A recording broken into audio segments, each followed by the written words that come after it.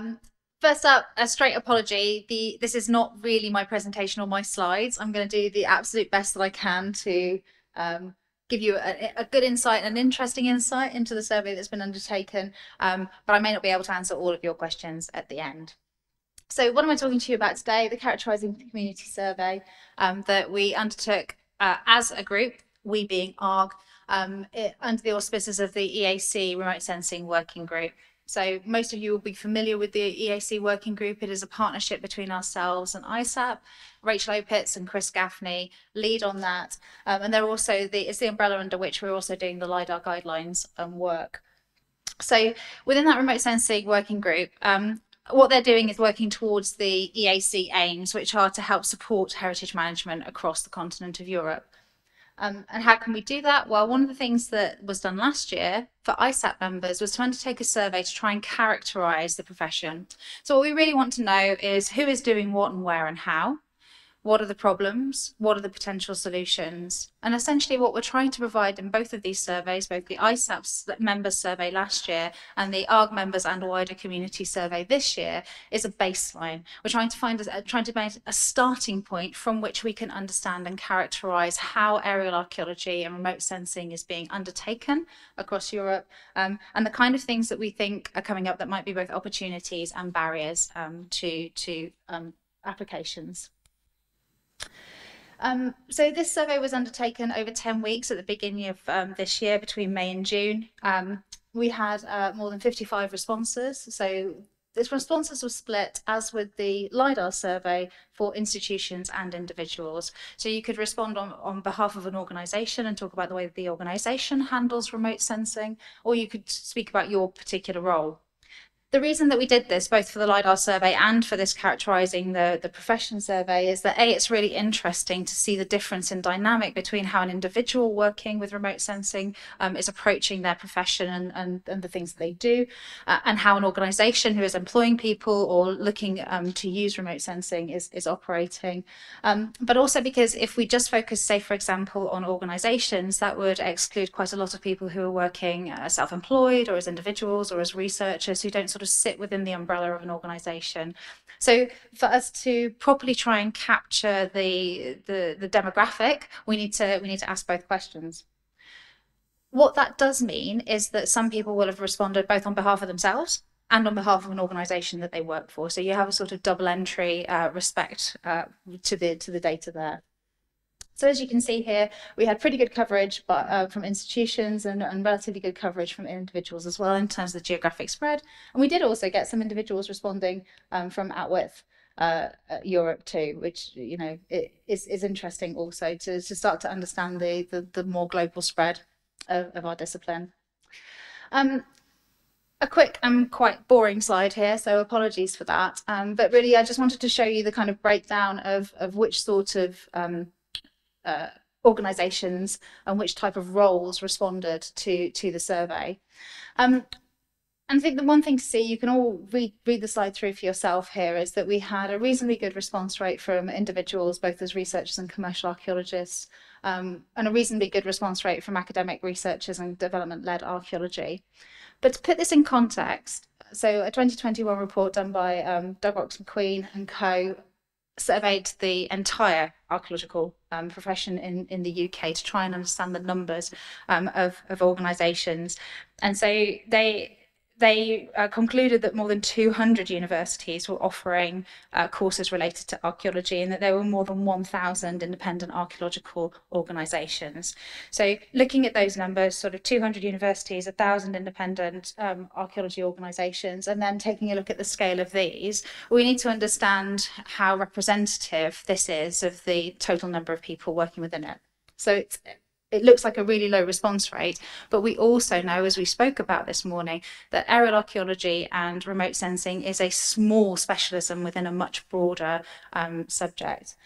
So further work on understanding where this research sits within the wider discipline would would be useful to pick apart how representative these these responses actually are.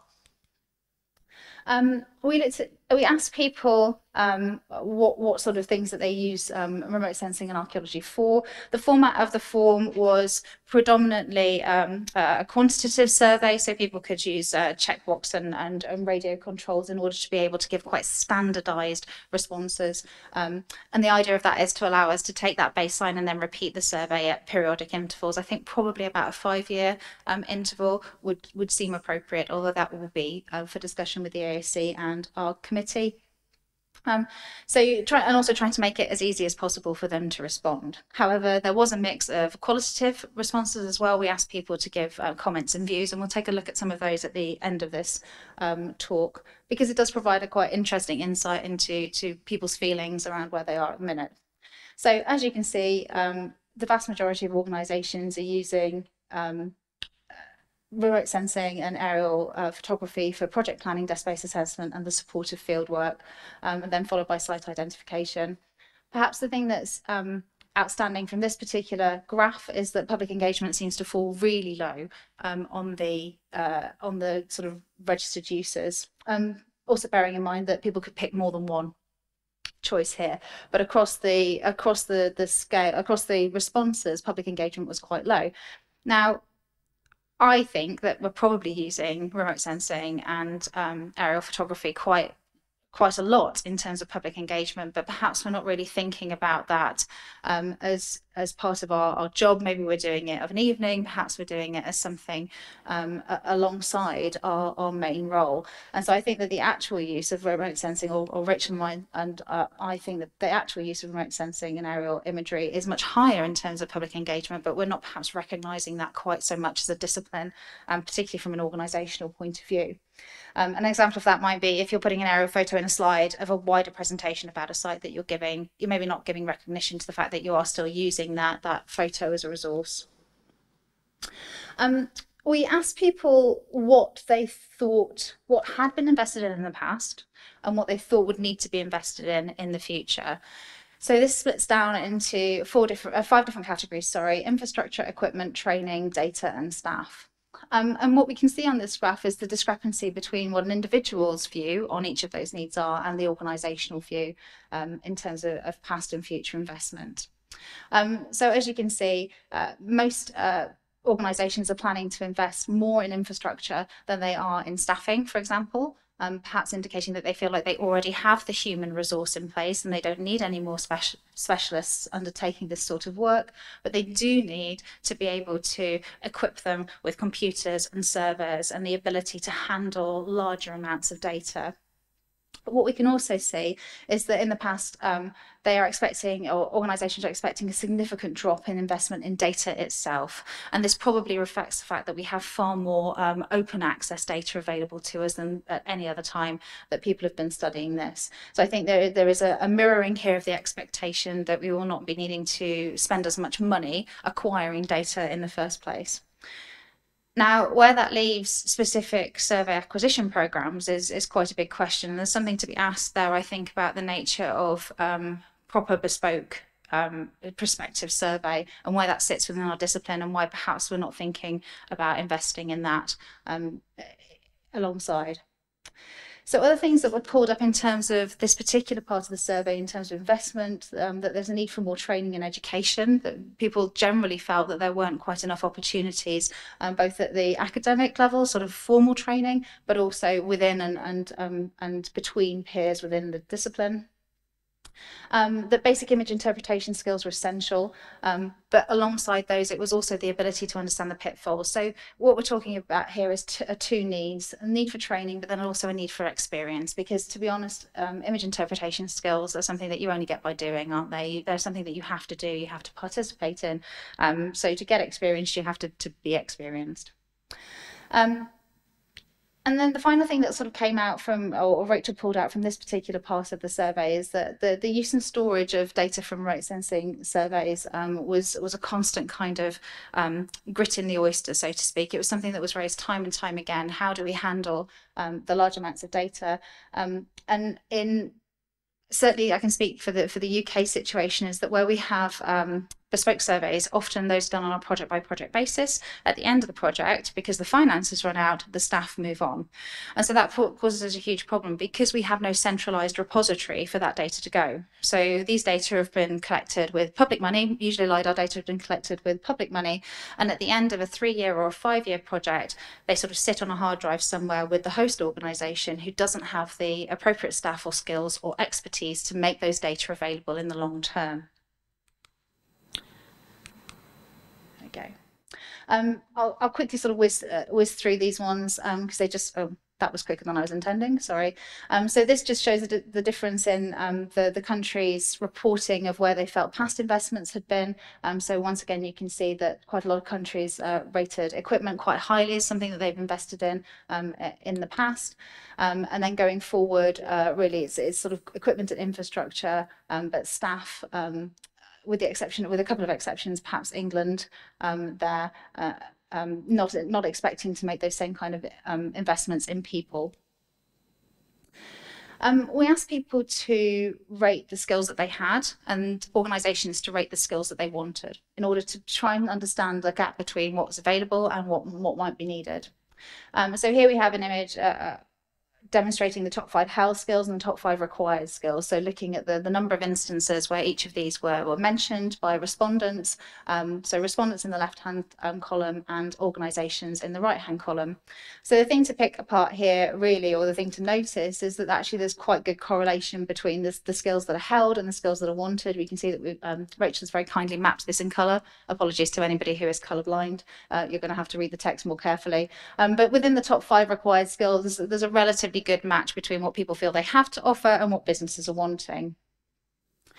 In terms of the long list, and what I should have said at that point is that um, the offer of more than 36 different types of skill were made. So people had a, had a checklist to pick from. So when we talk about the top five, we're not talking five of 10 skills, we're talking five out of 36 possible um, skill uh, areas that were given.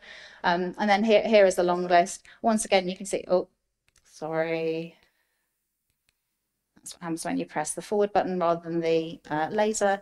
What you can see is there's a, there's a relatively good match, but as we look over the top 10, we're starting to see things being prioritized in a slightly different way.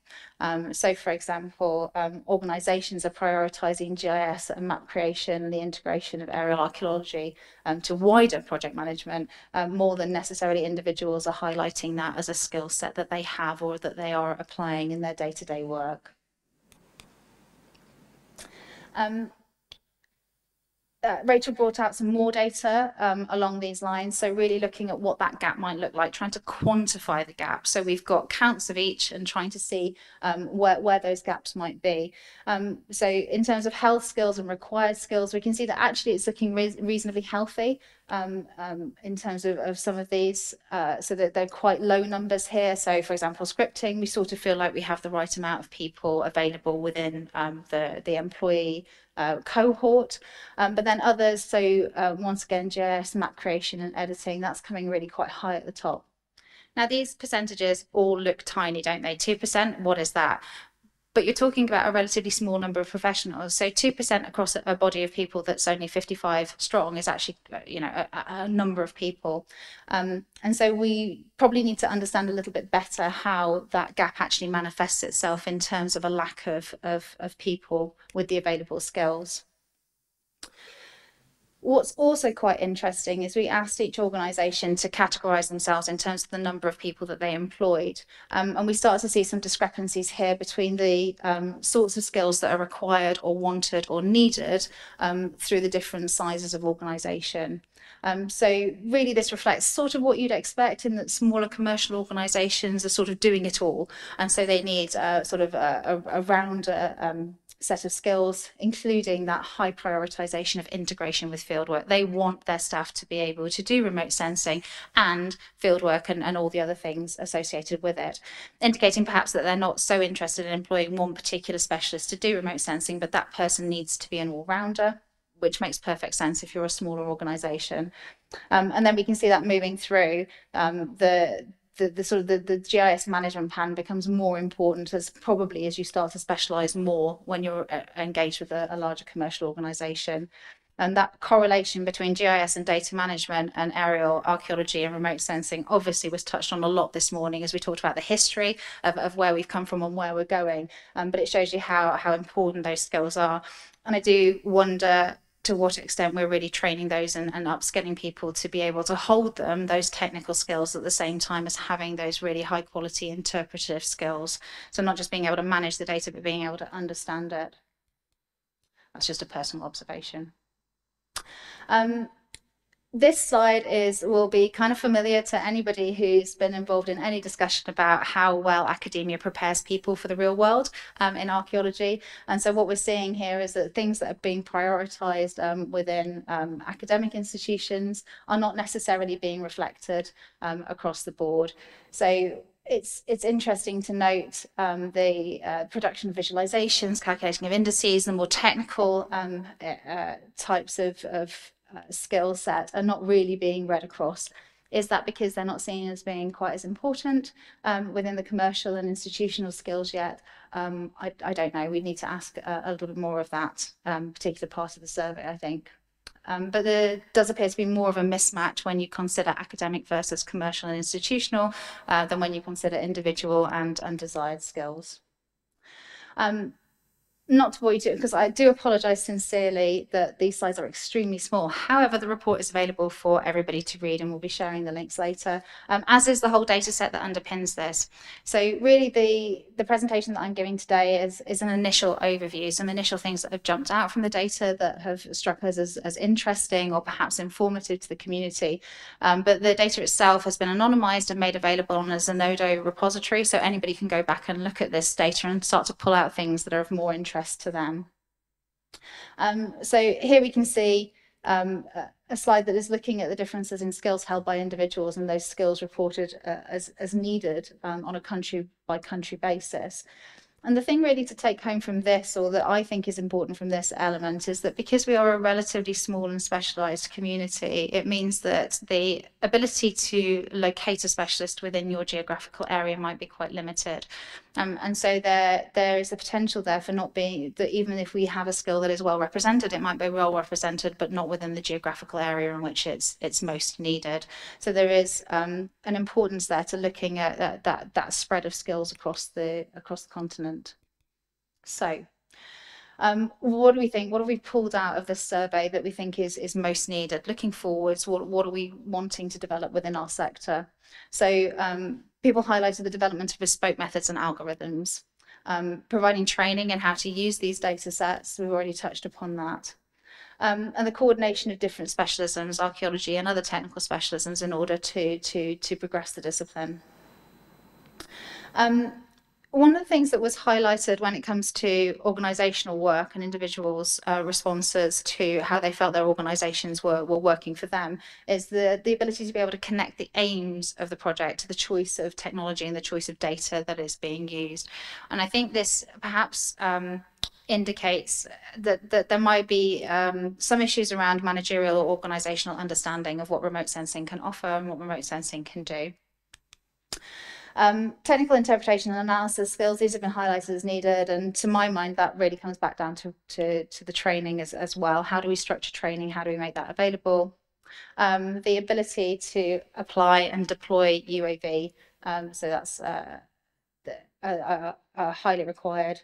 And finally, big data management. So specialists and services that can help us leverage change um, from this. Um, I mentioned before that there are um, qualitative responses as well that you can read. Um, I'm hoping that we've anonymized them enough that people can't work out who it was, but maybe you can hear somebody's voice in your head as you read through these. Um, I think I certainly can in some instances. Um, so once again, highlighting things that I've already mentioned as part of this talk, that we feel like there are um, people that interaction of data management and interpretation really needs uh, work, that this is a specialist skilled area and that we're perhaps not supporting people well enough, particularly through the, um, the, the, the, tertiary education cycle, so through universities. Um, how much experience do people get? How much training do they get as part of their degree? Um, and, and I thought this was quite an interesting, that, that in fact, um, the, the many many areas are still really seeing archaeology, and we, we've touched on this a little bit this morning as well. And sort of in the Ukraine in Ukraine, um, archaeology is still very much seen as the excavation of archaeology and not the wider discipline. So how do we integrate the stuff that we do and the stuff that we're interested in that we interested in that we know can make an impact um, within the the wider discipline and the wider management? Um, and this comes back to where the EAC will sit and how they will work with the results of this survey uh, on that on that management, that cultural heritage management level.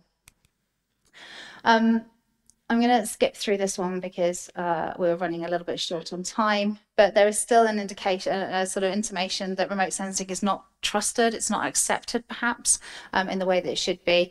So the question really and the challenge for us as a discipline is how do we how do we take on board some of this feedback? How do we move forward with it? So how can we make our work uh, more integrated? How do we advocate for ourselves so that people there's not that so much of a mismatch between what we do and what we want to do, uh, and what organisations want us to do or what we want to be able to contribute um, and and some some of those sort of bigger questions that are relevant to ARG. So what is it that we want to achieve here?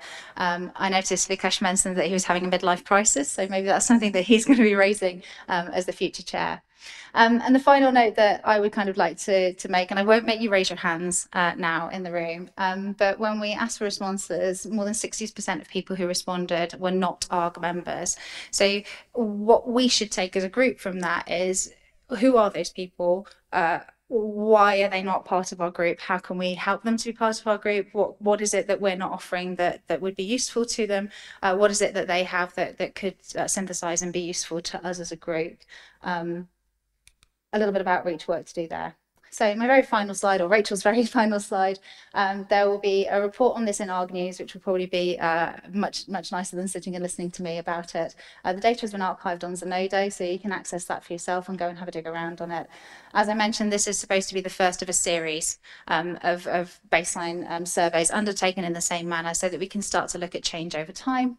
Um, um, and then finally, uh, to look with both the ARG and the EAC working group at the sort of actions that we could take from this survey that would help to better serve our community um, in, in the short, medium and longer term. Thank you so much for listening.